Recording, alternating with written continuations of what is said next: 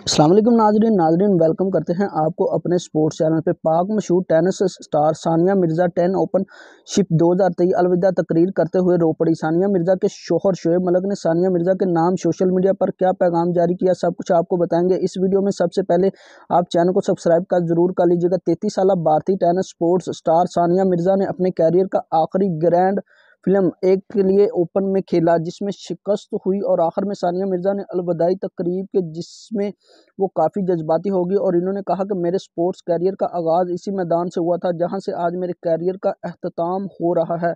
याद रहे कि सानिया मिर्ज़ा ने सन 2009 से 2016 तक टोटल छः ग्रैंड स्लीम डबल टाइटल अब जीते हैं, जिसमें तीन खवतिन के डबल्स टाइटल्स और तीन डिस्क डबल्स टाइटल मौजूद हैं। इसके अलावा सानिया मिर्ज़ा खवतिन की डबल रैंकिंग में नंबर वन पोजीशन पर रही हैं। इसके अलावा सानिया मिर्ज़ा का ये भी कहना था कि ये सब मेरे माँ बाप की दुआओं और साजा की मेहनत का नतीजा है। सानिया मिर्ज़ा ने कहा कि मैं अपने कैरियर में सब कुछ हासिल किया जिसकी मुझे ख्वाहिश थी।